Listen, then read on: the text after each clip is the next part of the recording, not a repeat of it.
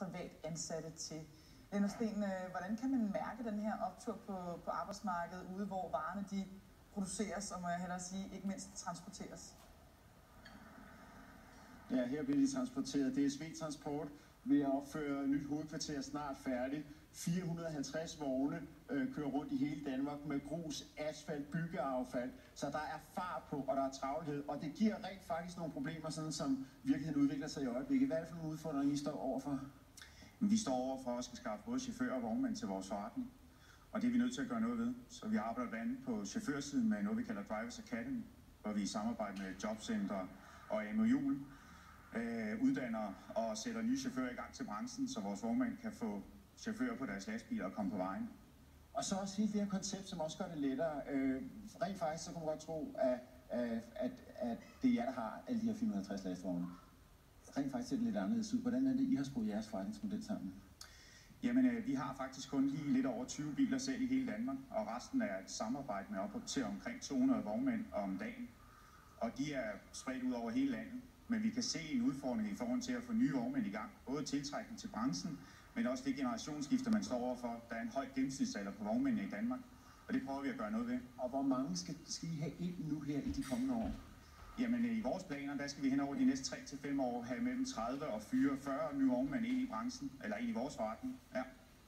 Men lad os engang se, altså man skal have fat i vognmændene, øh, og man har et billede af, hvordan vognmænd typisk ser ud, men rent faktisk, så ændrer det sig i øjeblikket. Der er nye folk på vej ind i branchen, blandt andet her. Værsgo at komme ned. Ulla Milman til daglig fløjtenist, solofløjtenist, øh, og på tredje uge er du blevet vognmand. Det er din bil, den her. Det her skifte, hvordan er det, det kommet i stand? Jeg havde bare lyst til at prøve øh, kræfter af med at være selvstændig. Og så tænkte jeg, at det her det var lige en branche for mig. Den er ret mandsdomineret, så det er lige præcis det, jeg hører til. Til daglig spiller du fløjte, du spiller solofløjte, og så kombinerer det med det her øh, kontrasten der. Øh, hvordan ser du selv det? Jeg synes, at det er en rigtig god idé at øh, kombinere sin karriere, specielt hvis man har haft en karriere mange, mange år, med noget helt andet. Fordi det giver nye perspektiver til begge, begge steder, og man kan komme med nye inputs og, og frisk blod. Så jeg kunne godt tænke mig at høre, øh, nu du startede, du har haft den her i tre uger, stor lastvogn, mange, mange tons tung, den har kørt 2.000 km. Hvad skal det her inde med? Jamen altså, det, det, jeg kunne da godt tænke mig at udvide med en bil eller mere, hvis det skulle være. Og gerne ansætte nogle kvindelige chauffører. Det er min drøm. Hvorfor det kvindelige vognmænd er der ikke så mange af, og kvindelige chauffører på store lastvogn er der heller ikke så mange af. Hvorfor? Jamen det er jo bare det der med, at det er jo min, min, min kreative tanke, bare, bare synes, at det kunne være en rigtig fed idé. Øh, og det kunne også være en måde at, at få frisk blod ind i branchen på.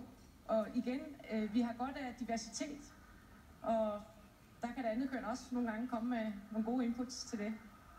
Der skal findes kreative løsninger for at løse problemet her øh, med at skaffe chauffører og vognmænd nok. Havde du set det her komme? Ikke med den hastighed. Vi var godt klar over, at vi skulle adressere vores øh, generationsskifteproblem med den hastighed, det har haft, og byggebranchens boom hen over de seneste år, primært på infrastruktur, men også nu på det private byggeri, ser vi et øh, stort behov. Så vi har måttet reagere hurtigt og lave et vognmandskoncept. Og kreative løsninger. Har du set en fløjtenist, der lige pludselig sidder og betjener øh, jeres kunder? Jeg synes, det er en fantastisk historie. Og vi har også en ung gut på 22, der lige har startet op med en bil til 2,2 millioner og kaster sig ud i en hård branche, men tror på det og tror på fremtiden. Så det er vi stolte af. Er det sådan nogle veje, I er nødt til at gå for at få tilstrækkelige chauffører, tilstrækkelige vognmænd? Der skal være nogen, øh, der skal gøre noget skørt. Vi er nødt til at tage ansvar. Vi kan ikke bare sætte os ned og vente på, at det kommer. Så, øh, så er vi ikke klar til at øh, klare de opgaver, vi skal klare de kommende år. Så vi tager fat. Tak skal du have. Tak. Og på